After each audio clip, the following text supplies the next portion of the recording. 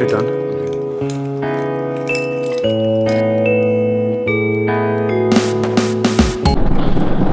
from Pittstown. We've been hanging out here all morning just doing work and uh, Buttrock's been working his ass off and made Mark one of those cool, cool, cool, cool, cool keychains. It's just like, it's hard to explain in the video. Like even in the video, you can't really see it. But like the, I want to, like the texture and detail and the edging, like it feels like a solid, solid piece, eh? Mm-hmm. Yeah, yeah, it's so good. It's, it doesn't doesn't come across in the videos or pictures. Yeah. It really doesn't. It looks so much. It like it's just such a pleasure to hold it. It was like a piece of artwork. Yeah. Well, it is for sure. And you got a copper one. Because you're all special. Yeah.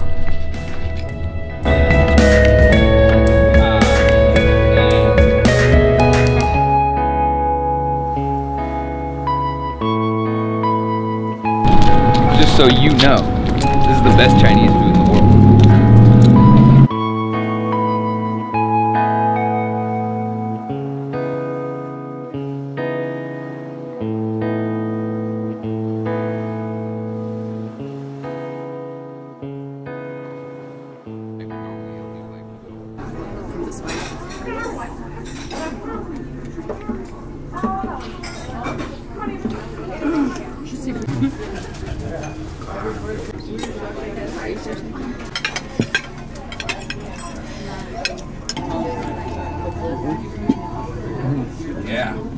Hello.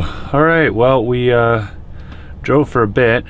We can get all the way out to kind of the campground where I wanted to go, but I think we're going to actually get there tomorrow night.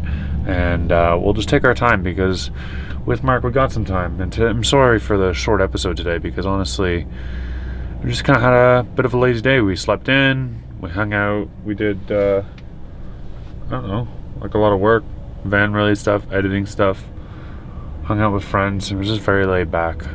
Just a good day. Good day.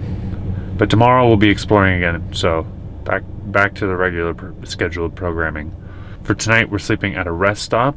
Um, in California, you can stay at rest stops for like overnight and camp here, no problem. So we're gonna do that. Not the quietest spot, but uh, super easy for us. You just pull off the side of the highway. It's like super super easy. So that's exactly what we're looking for tonight. All right, we're gonna watch some movies, chill out. Have a good night. Good night.